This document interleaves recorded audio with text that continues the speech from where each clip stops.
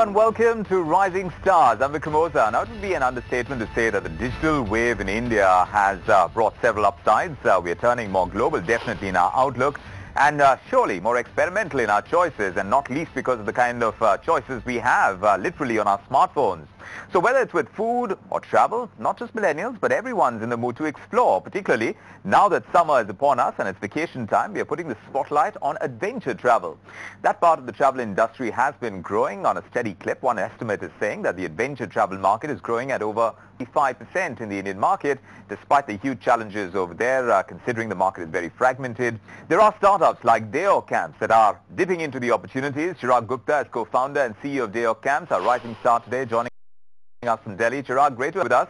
You started the company in April 2016 and this along with a few friends. Uh, what was the thought then?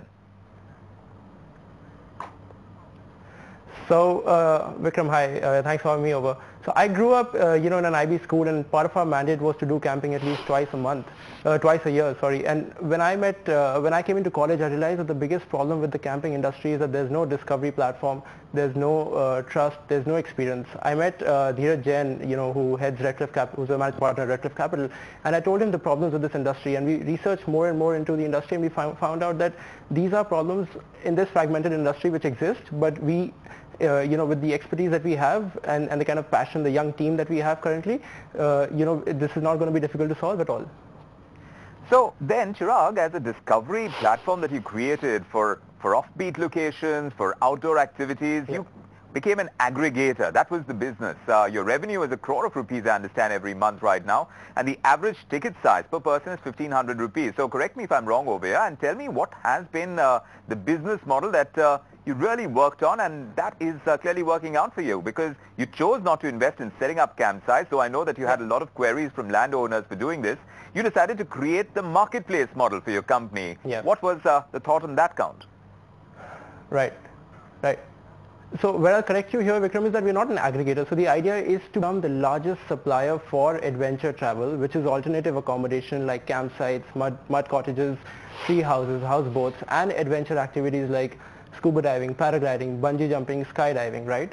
So we, the idea is that when I go to Rishikesh, there are 100 campsites that I can actually work with, but we choose to only work with five because these are the guys that understand our standard, standard, uh, standard operating procedure. These are the guys that understand what our client actually wants, what the traveler really looks for. And so these are the 5 out of 100 that, we work with, you know, eventually. So we're not an aggregator. We, we're trying to be, um, uh, you know, the largest supplier, the largest holder of online inventory there is for adventure travel in India. So how difficult has that process been? Because uh, your business model involves commissions and this is a fragmented industry like you said. Uh, what have been the challenges so far in getting that model up and running uh, and with what kind of success? Uh, because I did uh, kind of uh, earmark the kind of um, monies that you are making right now on a monthly basis and the per user ticket size as well and that has been growing too. So do tell us now, what were the challenges that you faced in uh, creating the model that you have? See, I'll tell you the biggest problems with this industry is the discovery, the trust, experience. There's no technology. There are pro problems of compliances. You will not believe there are still campsites in India that are working on the register model. We've built up a technology that goes out, brings all these vendors online, these guys, you know, the entire taxation, the service taxability, their invoicing, that has been brought online. We have vendors, because we are in the adventure travel market, uh, one of the biggest problems we saw was that our vendors are in off-peak locations. So one of our vendors sit, sitting in Lahaul Spiti, how would he be able to give us live inventory, something we are promising to our uh, resellers? How would we get live inventory? So we built up a state-of-the-art technology where we have an SMS-based inventory model so any campsite owner, any campsite vendor, any activity vendor sitting anywhere in India where there is no data connectivity can just send an SMS to our extranet which automatically picks it up and says, okay, you know, this is the amount of inventory we have. The problem, the, the next problem was how do we exactly sell it? Do we want to be B2C or do we want to be B2B? We decided to go the B2B route. We've got a strategic investment from a from the largest B2B travel player there is in India called Travel Boutique Online they have 27,000 travel agents that help us sell our products uh, you know, pan-India. Currently we have 600 campsites in India. We have another 1,000 adventure activities across 70 locations.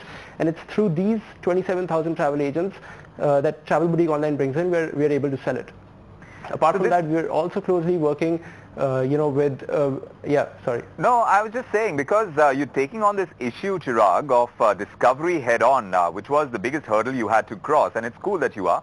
But what about uh, trust and uh, this positive experience that you need? Uh, how do you assure your users of those? Uh, those really need to be looked into, right? Safety, accessibility, the licensing, uh, the licensing Right. standards, uh, those would be the real pillars of any adventure travel destination, and India has a long way to go in all these aspects. So how are you getting around these? Right. So like I gave you an example, right? So when my, when, you know, even I have gone out and met vendors myself. So when I go to uh, Rajasthan, let's take Jaisalmer for example, the Sam Dunes has 40 campsites. We, we have a standard operating procedure where it's a 300 point operating procedure, procedure which we talk to these campsite owners and we tell them, listen, this is what you need to implement. Can you implement? If if they are not in the tune as we are then we say okay you know there's no point in working with you. The, we'll take the next one. So there are obviously quality checks in terms of what's the hygiene uh, how are the linen uh, how are the activities at the campsite. We've also done data filtering to uh, to each campsite about which campsite is good for you know uh, women only travelers which is good for uh, families which is good for you know bachelors uh, you know men only traveling so we've done that kind of data filtering to know exactly which campsite is suitable and which campsite we should be working with That's a considerable exercise, Chirag. I know that within six months of launching the portal, uh, like you mentioned, you raised $500,000 from six investors and also some from Naspers Back Tek Travels, which runs uh, Travel Boutique online. But how much did you have totally to start with? What was the strongest element of the pitch that you were making to them? And uh, the funds, how have you used them so far? Because uh, going ahead, as you expand, you're definitely going to need more, isn't it? Yeah, so obviously, you know, starting is not very easy, uh, but I was fortunate enough, like I mentioned earlier, I met Dheeraj, uh, Dheeraj from Redcliffe, Dheeraj Jain from Redcliffe Capital, and he, uh, you know, gave us the initial capital to begin with, and he told us, you know, listen, you build this up in a manner because I like the space. This is a niche in the travel travel sector which nobody has catered to yet. It's very fragmented. You build it up in the certain in, in, in the way that you have pitched it to me, and then we can go ahead and speak to other investors. So, so that was where the starting capital really came from. But uh, moving ahead, we met these investors. They were also, you know, in the same tune. They liked what we were doing, and uh, and you know, uh, beyond that, so we've we've taken money. We've we've raised five hundred thousand dollars, and uh, we have primarily spent it on technology because the technology we built up was, uh, you know, it's it's a very uh, uh, it's, it's not a very easy technology to build, you know, to get an SMS-based inventory model. It's a state-of-the-art technology to have live inventory for the adventure travel space, which nobody else in India has as of now. Right. Uh, we spent it a lot on marketing. We spent uh, we spent a portion of the money on the team. Uh, then you know the, what the most important thing in the adventure travel play is that you need to have the right content. You know the right photos, the videos, the one that really excites the audience to look at it and to then finally go ahead and experience it. So there's a lot of money that actually goes out into sending your and and you know your traveling is also very important because if I have to go to 70 ca- uh, locations in India sign up a 600 campsite and 1000 adventure activity portfolio, that means I need to meet at least five times those people, which involves a lot of traveling costs. So that's where my money was was initially spent. Right.